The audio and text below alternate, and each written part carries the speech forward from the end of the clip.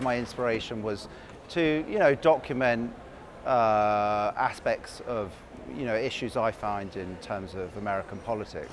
This isn't just a portrait about Trump for me. This is a portrait behind, uh, you know, who is the actual power behind the political system. So, you know, for example, you can see references to the commodities market in this, you know, piece with the crude oil coming out of the rubble, which is obviously reference to, you know, the housing market.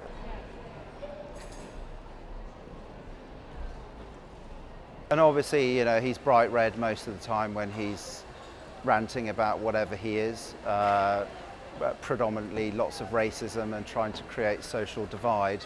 And, you know, obviously also we're overfishing the seas. It's an issue. So these are all subjects we've got to deal with.